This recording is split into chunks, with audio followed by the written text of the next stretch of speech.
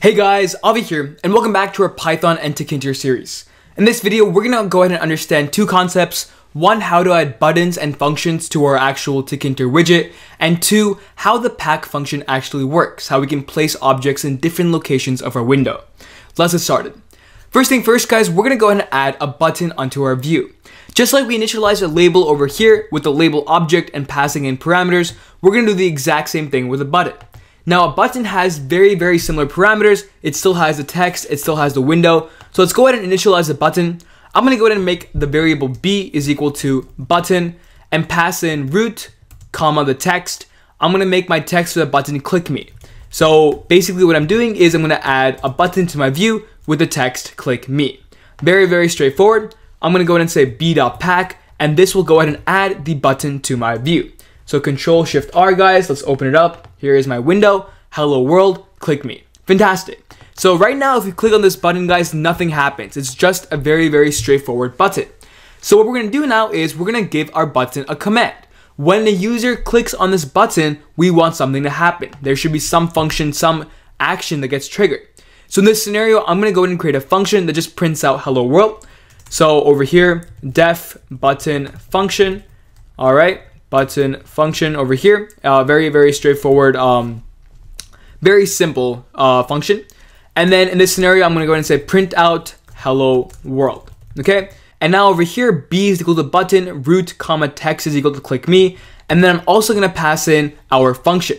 So command is the attribute of buttons that takes in what should happen when a button is pressed. I'm gonna pass in over here, button function. Make sure you don't add the brackets, guys. It's just button function, the text of your function. Go ahead and save this, run it, and let's open up the new window. Hello world, click me. Now if I click on it, guys, if you look at the bottom of my screen in the console, you're gonna see hello world pop up multiple times. Alright, awesome. So that is the very simple gist of buttons. Again, buttons are created with the button object. You pass in your window, you pass in the text for your button, and then you can specify the command, what should happen when the button is pressed. Now there's a lot of different attributes buttons has as well. You can change the color, the background color, the size of the button, stuff like that. But just for understanding how a simple button is added to your window, this is the code necessary.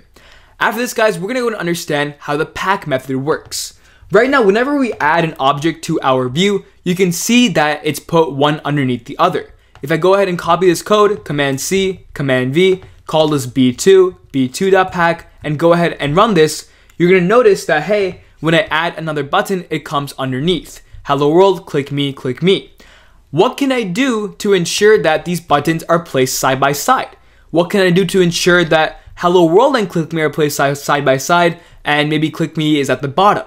So depending on your scenario guys, you can go ahead and play around with the positioning of every object. Right now we're placing it in the root view and the way that works is there's basically four different positions. You have top, bottom, left, and right. So you can go ahead and specify how your object should be placed. If I go ahead and say L.pack, side is equal to left, B.pack, side is equal to left, and B2.pack, side is equal to left, you're gonna see that all three buttons are placed side by side by side. Control Shift R, run this, and we see over here, hello world, click me, click me. So that's what left does, okay? It places all three of them, basically pushing them to the left. If I make my B2 side equals right, what's gonna happen is my last button is gonna be placed all the way to the right. So I'm gonna have hello world click me, and my second button over here is gonna be all the way to the right. The reason why you have this gap, guys, is because our window is 300 pixels by 300 pixels. That's why this gap exists. You have two objects that are pushed all the way to the left, one object pushed all the way to the right. Other than left and right, guys, you also have top and bottom. I can make my button 2 bottom, I can make my button 1 top, and then go ahead and save this and run it. And we're gonna see my label to my left, my first button to the top, and my second button at the bottom. Very, very cool, guys. That is how this side attribute works for pack. By doing that, guys, you can go ahead and modify your layout, put objects to the left, to the right, to the top, to the bottom, and actually get the layout how you want it to look. Anyways, that's it for this lecture, guys. We covered buttons and we covered the side attribute for the pack method. That's pretty much it. Don't forget to like, share, and subscribe, guys, and I will see you in the next video.